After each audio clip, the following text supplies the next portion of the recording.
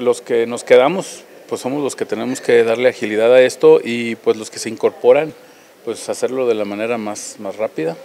Por ahí hay una iniciativa del diputado Fernando Chávez para que los suplentes integren de inmediato las comisiones que dejan los propietarios. Bueno, me parece pues, que es una idea que vale la pena explorar. Eh, para que no nos tardemos en integrar las comisiones y en seguir atendiendo los turnos y los asuntos. Creo que lo más importante para el Congreso pues, es ir sacando adelante eh, pues, los trabajos de cada comisión.